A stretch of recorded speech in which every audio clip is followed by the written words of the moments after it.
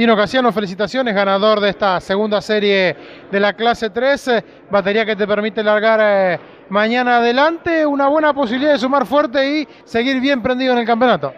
Sí, la verdad que sí, es muy buena esta serie. Eh, aparte, considerando que es una carrera de puntaje y medio, queremos romper la racha y sumar fuerte una vez. Una batería que no te dio respiro, que tuviste que ir muy concentrado, más allá del auto de seguridad. Sí, la verdad que sí, los chicos venían muy rápido. Eh, un poco una chupada se te viene, pero igual no, se, no te da para pasarte, pero bueno, no te deja cometer un error. Por suerte no los cometí y salí, salimos, bueno, salimos ganando la serie.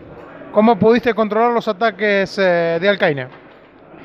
Eh, no, sobre todo no haciendo macana, porque veníamos muy parejos. Eh, y bueno, más que nada fue eso, mantener la concentración, no, no equivocarnos y por eso nos mantuvimos. ¿Cuál fue la virtud que tuvo el DST a lo largo de las seis vueltas de la serie?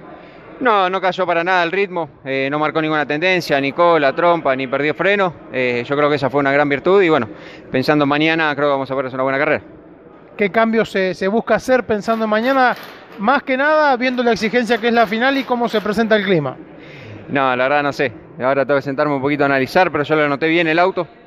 Eh, así que, que, bueno, creo que es todo lo que tenemos para mañana y lo vamos a demostrar.